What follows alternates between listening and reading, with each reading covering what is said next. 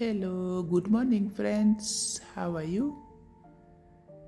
I'm happy to be here again today. I thank God for the new day. I believe you are also well wherever you are, and I thank you for being part of this channel. You have really been a blessing to it. The growth I cannot say has been because of my effort, but because of you being part of it. Today we had a little rain, and uh, when it rains, it is difficult for my grandchildren to play outside on the trampoline, the swings, and the slides. So I tried to bring something that is portable that I can put at the veranda, and uh, that is uh, some small jumping castle. So I'm trying to fix it so that they can play anytime they come here. I don't want them to be glued on TV watching some movies or even playing games because that is what the children of these days love. So that is why I decided to buy some things outdoor games so that they can be playing outside, not inside. And they love it. So, those of us who are here, retired, and God has blessed us with grandchildren, let us try to buy them, buy them things that can encourage them to play outdoors. Even if you don't have a compound, you have some little room, you can buy some uh, playing things like even the blocks, they can build the blocks, yeah, or even chairs, something there that can build their mind, not just keep on playing, playing, playing in the with the video games or watching TV. It is not healthy for their uh, growth actually, and more so mental growth. So we are trying to figure out how to put this one in place. This is the first time I'm trying to put it. So the first one that came is five year old. He's really trying to help me if we can fix it.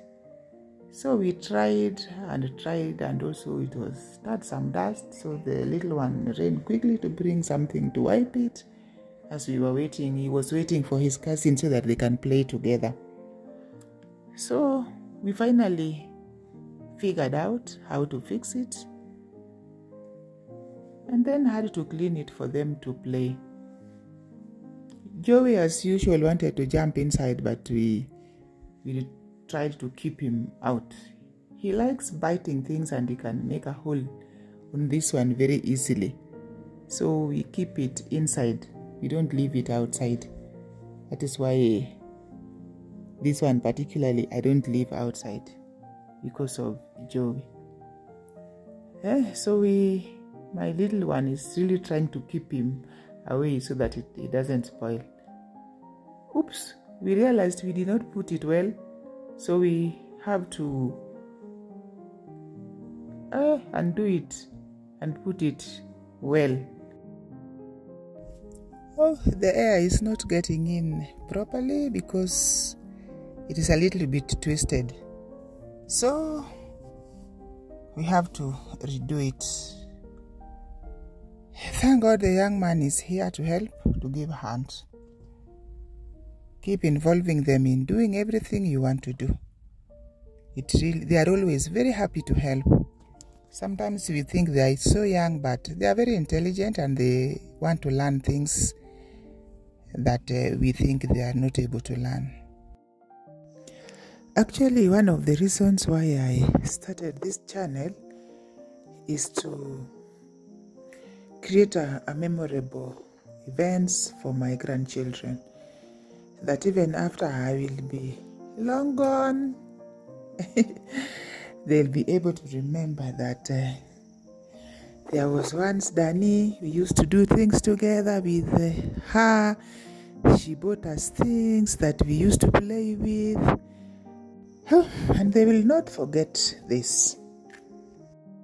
So the young man is really struggling hard to make sure everything is in place. And uh, we have managed to put it right now. Now the air is uh, going in smoothly as opposed to before. And that is uh, a plus for him. He really wants us to finish this thing before his cousins come so that he tells them that I am the one who fixed this and you are not there. You just know how children like taking credit. So that is what he wants to do. So he's still trying to clean the inside, which is a little bit dusty. And uh, I really like that because it's good teaching for him. Cleanliness is next to godliness. We have to teach them as young as they are. Train up a child as early as you can because when he grows up, he will never depart from it. So he's trying to jump inside if it is stable, and that is good. He's happy about it, and he's just looking forward for his cousins to come. The cousins arrived and also are trying to at least to fix something so that they also take credit, which is good. So they are jumping and they are happy. Even though the rains have stopped, the grass is still wet, so they will just continue playing inside here. You can see this how people are competing to make sure that everything is in place. Whew, that's good. They also planted uh, an avocado here. Almost, was it two years ago? Yes, it was during COVID. So they keep on checking if it is growing, which is very good for them to know that things don't just grow overnight. It also teaches teaches them patience. So let us also make sure that you plant something and then they'll see it grow themselves and they will be so happy and appreciate that you don't ask for something today and tomorrow it is there. It also goes with the biblical saying, writing actually. It is written in the Bible actually, if you read Mark 4 uh, 28, it says, For the earth bringeth forth fruit of us herself, first the blade, then the ear, after that, the full corn in the ear. That will also make them know that the Bible is uh, is truth. It's a good teaching for them that to know that what is written in the Bible is what we also experience outside here.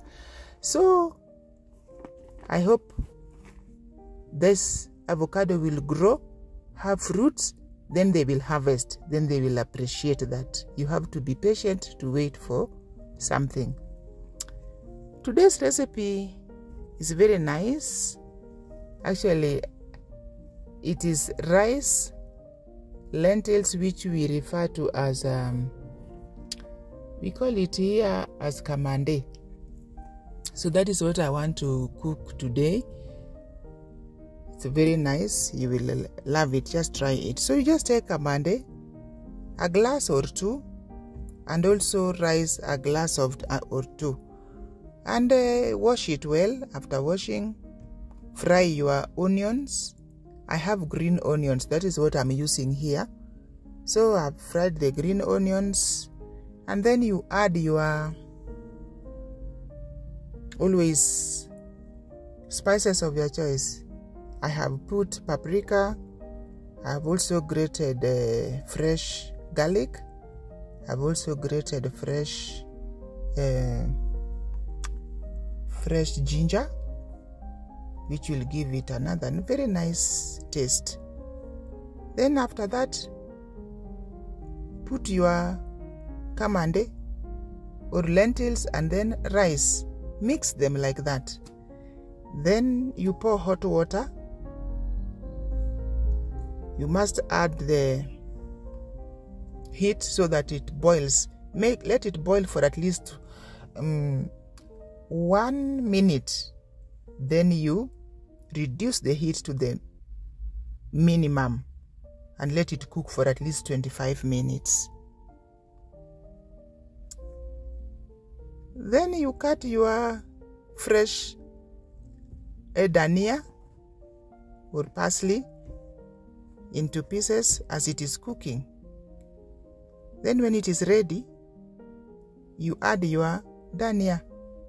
but after you have stopped cooking it just put off the heat and then you put your dania then mix with it it will be a nice nice nice meal for you mix well so that the dania is mixed evenly in your recipe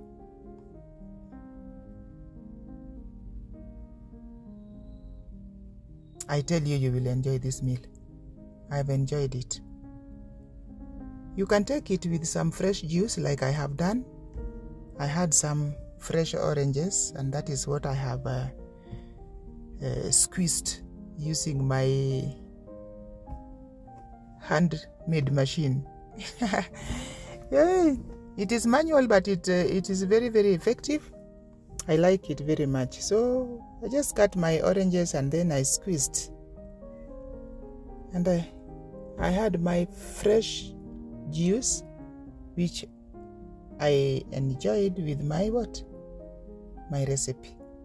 Please try it. You will love it.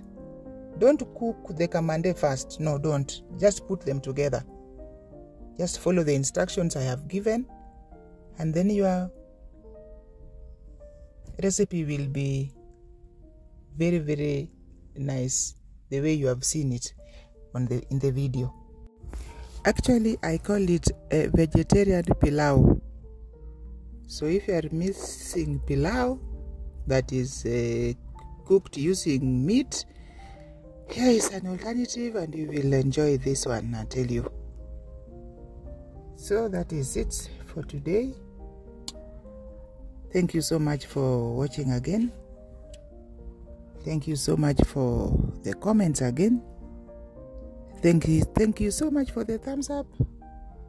If you like my videos please share them with your friends with your family so that they can be also a blessing to many people by that you will really help me grow this channel that it can reach many and many people that can benefit from the recipes that I have.